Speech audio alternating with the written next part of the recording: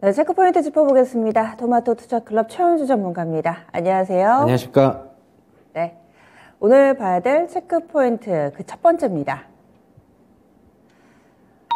간밤에 미국 증시가 좀 부진했었죠. 이런 상황 속에서 우리 증시 계속해서 보수적인 관점을 유지해야 된다. 음, 요즘 들어서 계속 이 시간 이런 내용을 강조해주고 계신데 여전히 시각 유효한 거죠? 네, 뭐 지금 국내 증시만 자체적으로 움직일 것 같으면은 요즘 수급은 그래도 좀 괜찮아요. 뭐 외국인들이나 연기금 쪽에서 일부 쪽폭 소폭 사고 있고 그러나 이제 뭐 역시 전체적으로 글로벌 증시의 영향도 좀 같이 좀 봐야 되는데요. 지금 어, 금요일 날에도 2250이 또 역시 돌파가 못 되고 있어요. 역시 그 선에서는 저항이 계속 나오고 있다. 그리고 마침 공교롭게도 주말에 우리 쉬는 동안에 이틀 동안 미국 증시가 뭐 좀 상당히 좀 안 좋았지요. 뭐 고용 지표는 발표됐는데 결국엔 실업률이 오히려 떨어진 것이 뭐 결국에는 미국의 긴축이 계속될 것이다. 뭐 피봇이라고 하죠. 정책 전환은 계속 없을 것이다라고 하면서 음, 결국에는 안 좋은 모습. 그다음에 뭐 중국의 반도체 수출 영향 이 있어가지고 금지한다는 그래서 미국 반도체 지수도 많이 빠지면서 나스닥 지수 같은 경우에도 전저점이 이제 드디어 이제 붕괴가 됐어요. 제가 저번 주 금요일 날에 미국 증시 보면서 어, 21선을 시원하게 돌파해야 되는 자리인데 못하고 음봉 나오면서 향후에 좀 안 좋은 모습이 예상된다고 했는데 공교롭게도 우리나라 증시 쉴 때 뭐 그런 모습이 좀 나왔습니다. 어, 지금 전체적으로 본다면 역시 미국 증시 불안, 그 다음에 CPI 이번 주 발표가 앞두고 있는데, 뭐 지금 컨센서스는 나와 있습니다. 그래서 뭐 그거를 충족하게 될지, 상회할지는 좀 더 지켜봐야 될 것으로 보고 있고, 그다음에 그렇다고 본다면 환율 시장도 여전히 계속 염두에 둬야 되고 이번 주에 또 옵션 만기까지 있어요. 뭐 수급까지도 그렇게 우호적이지 못하다. 지금 일시적으로 옵션 만기일이 가까워지면서 풋옵션, 콜옵션 쪽에서 프리미엄을 좀 희석시키기 위해서 인위적으로 뭐 안 빼고 조금 덜 올리고 뭐 그런 거는 있습니다. 그렇기 때문에 지금 국내 증시 같은 경우는 여전히 이번 주 옵션 만기 영향에 뭐 영향권에 뭐 계속 들어와 있다라고 보고 있고요. 어, 이번 주 옵션 만기 끝나더라도 이 뭐 다음 주에 후폭풍이 조금 일어날 수도 있어요. 그렇게 본다면은 여전히 뭐 제한적으로는 뭐 등락이 나올 것으로는 예상이 되고 어, 하지만 이제 금요일 날에 개인이 산 것보다는 외국인이나 연기금 쪽에서 매수가 좀 들어와 가지고 오늘의 하락이 과연 미국 증시만큼의 하락은 나타나지 않을 것이다. 저는 개인적으로는 좀 보고 있고요.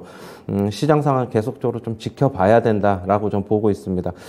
참고적으로 좀 미국 증시 한번 잠시 볼게요. 네.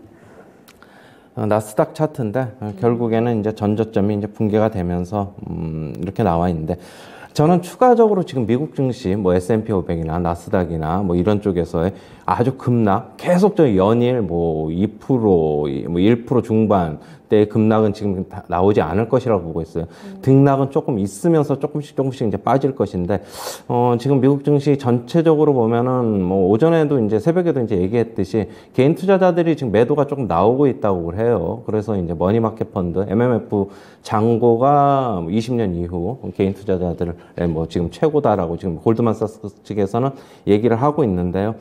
음, 지금 바닥에는 어느 정도 조금 더 빠지면 빠질수록 가까워질 수 있다라고 보고 있고 추가적으로 미국 증시 하락이 뭐 여기서 저는 개인적으로 만 나스닥 기준으로는 만대 초반이나 아니면 만 대를 조금 일시적으로 붕괴시킬 수도 있지만은 뭐 3, 4%의 어 추가 하락이 나올 수 있지만은 그 정도 선 되면은 어느 정도 조금 안정을 찾지 않겠느냐 그렇게 보고 있고 거기까지만 하지만은 급락은 나오는 것보다는 뭐 단계적으로 하락, 계단식으로 하락 뭐 그렇게 보고 있어요. 음, 수급 쪽에서는 국내 증시 좀 유효한 만큼 조금 관망해봤다가 시장 상황을 뭐 그날 그날 체크하니까 우리가 이제 조금 오늘 같은 경우는 좀 관망해 해보고 이번 주 같은 경우에 역시 뭐 조심해보자. 전저점 살짝 붕괴될 수도 있지만은 그것보다는 박스권에서의 움직임이 나타나면서 매물 소화 과정 거칠 가능성도 있다. 그렇게 보고 있습니다. 한 번에 급한 하락보다는 조금씩 조금씩 조금 밀려 내려갈 만한 상황으로 판단을 했네요. 나스닥 같은 경우는 많은 전문가들이 만선 장중한 때 약간은 좀 이탈했다가 이 부근에서의 좀 부침 과정 예상하고 있습니다. 다음은 두 번째 체크 포인트 넘어가겠습니다. 이제 슬슬 실적이 좀 나오고 있죠. 음? 이런 상황 속에서 음, 좀 눈여겨볼 만한 내용. 지금 화면이 좀 잘못 나가고 있는데, 조선사 내용 좀 다뤄보겠습니다. 조선 3분기 실적이 좀 좋을 거라고 하네요. 어, 앞서서 삼성전자 실적 가이던스 발표를 시작으로 3분기 실적 시점 본격적으로 좀 진입하고 있는 상황인데, 조선주들은 3분기 실적이 좋을 거라고요? 네, 우리가 이제 저번에 이제 태조 이방원 할 때 조선주 상당 부분 상승했잖아요. 그때도 이제 상승의 원인이 3분기 실적, 4분기 실적, 그 다음에 계속적으로 수주 잔고 늘어나면서 내년에도 좋은 실적이 예상이 된다고 하면서 그게 선반영이 될 수 있다고 하면서 주가 많이 올랐었는데, 어, 3분기 실적 시즌에 이제 들어왔는데 여전히 뭐 예상한 대로 호실적이 전망이 되고 있습니다.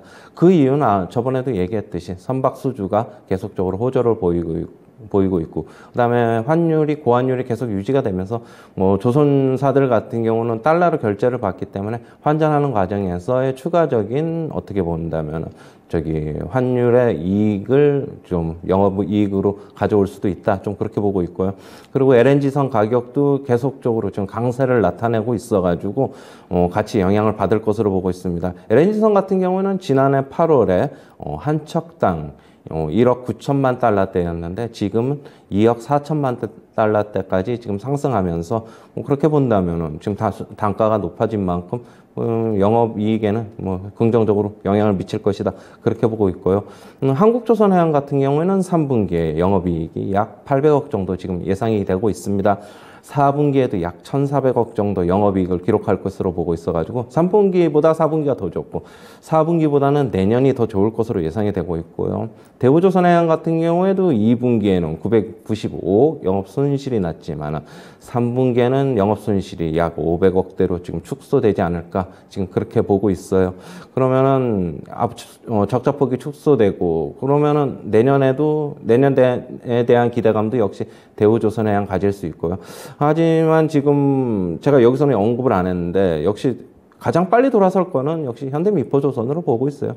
중소형 조선사기 때문에 그리고 후판가의 가격의 영향도 상대적으로 충당금도 좀 쌓아놓은 게 적었고 음 그렇다고 본다면은 현대중공업 현대미포조선, 한국조선해양, 대우조선해양 이런 조선주들은 앞으로도 계속적으로 실적이 괜찮아질 것이다.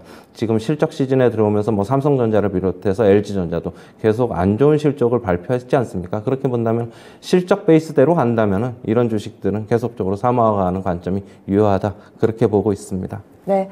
아마도 조만간 조선주도 실적 발표하면은 몇 년 내에 흑자 전환 이런 헤드라인을 보실 수 있을 겁니다. 현대미포조선이나 한국조선해양은 흑자 전환 예상되고 있고요. 대우조선해양은 손실 규모가 좀 축소되지 않을까 조선주 실적 모멘텀 부각될 만한 타이밍으로 판단하고 있습니다. 오늘 앞서서 신규 전문가도 하이로코리아 추천주를 주셨는데 이쪽 많이 주목받고 있네요.